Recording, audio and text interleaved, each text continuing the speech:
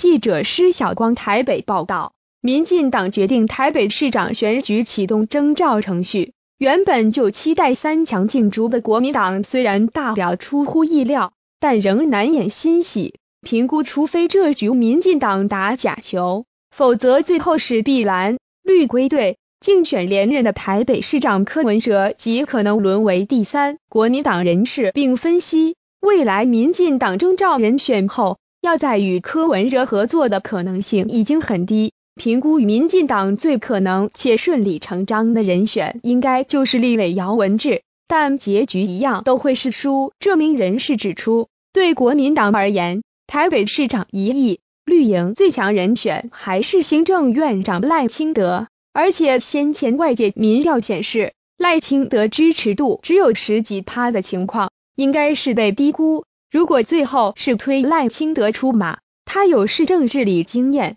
就会与推出姚文智的情况有极大差别，而且对选民的说服力更高。如果人选是姚文智，就只是新人挑战。这位人士还说，赖清德参选意愿不高，除非蔡英文总统要把柯文哲、赖清德在两千零二十大选前交给国民党一次歼灭。蓝营人士表示。原本民进党高层与柯文哲是郎有情妹有意，没想到最后却走上分手的道路，完全出乎蓝营意料之外。